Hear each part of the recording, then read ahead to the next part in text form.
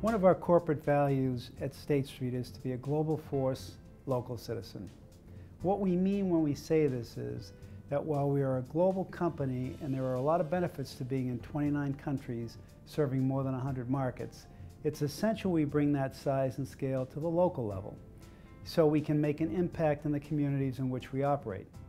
We believe that the success of our business is directly linked to the well-being of the communities where we live and work.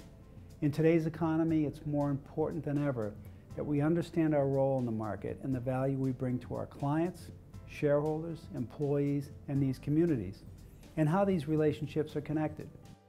At State Street, we understand that increasing a person's ability to earn and maintain a living contributes to the overall health and well-being of their communities.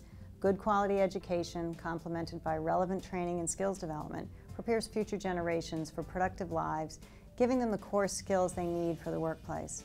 When applied successfully, this approach fuels innovation, investment, economic diversification, and social mobility. At State Street, we look to both traditional and not so traditional places for candidates and that most definitely includes the communities in which we operate. Finding the right people is a big investment, and we treat it with the same rigor and diligence that we apply to the investments that we manage. We expect growth, we expect performance, and we look at the big picture but fulfill our talent needs one person at a time.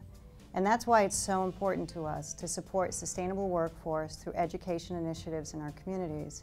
We know focusing on our investments in education and workforce development directly supports our business.